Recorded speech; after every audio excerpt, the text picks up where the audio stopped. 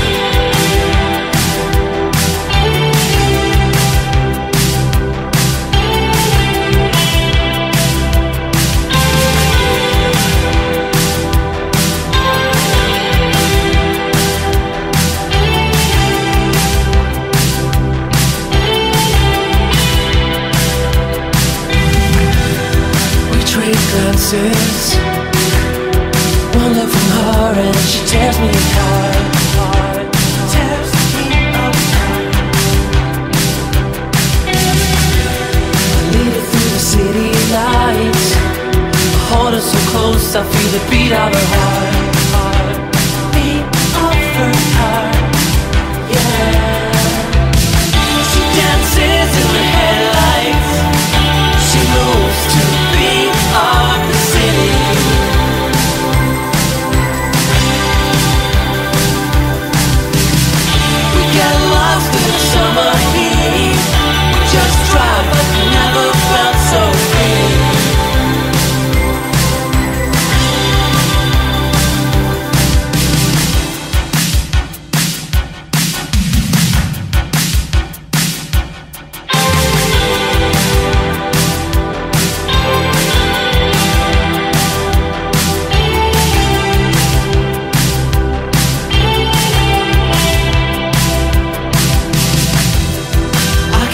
Can't her. She's taken a hold and she started a fire. fire. Started a fire in my heart. Help us to answer. The body cries out just to be loved.